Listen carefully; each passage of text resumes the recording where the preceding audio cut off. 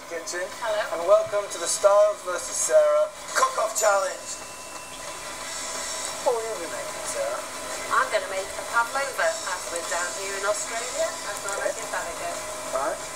I'm going to keep mine a secret because it's my secret weapon. I'm not going to give it away. Yeah, it's a family recipe. It's been passed down through quite a few generations. It's usually kept in a safe and a fireproof box. Uh, pretty much all of these. Now, I think I'm actually going to have to run out to the shop to get some of this stuff. I'll be back in a minute. I'm going to go get some cilantro and basil and stuff. What do you think he's made?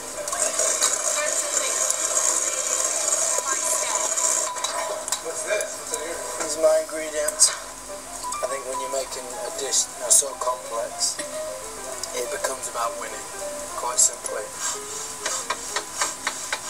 Presentation is as important, if not more important, than, than how it tastes. Sarah, you worried about the ingredients. Uh,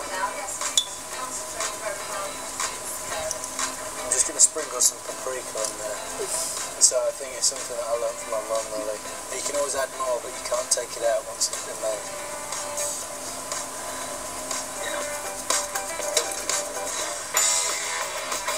Full time on the competition. It's down to the wire. It's a close one. We're going to go over and meet our judges.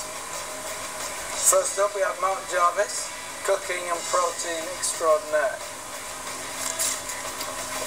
Second of all, we have Gemma Styles, my sister, and uh, cake enthusiast. Lastly, we have Louise Teasdale, hair, makeup, and skinny thief. I've seen him mature as a chef. God, I hope it's better than that tuna thing he made when he was 12. Ooh. Oh, Sarah. Consistency is very good.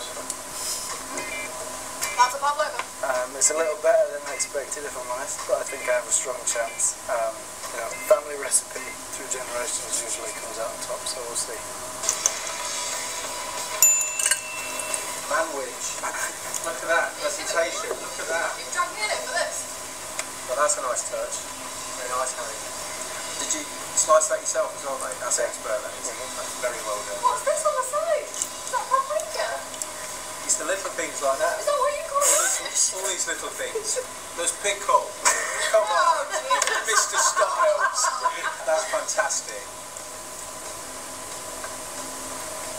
That's a win, Mr. Styles. How do you feel it? I just, you know, I'm just really glad that they liked it.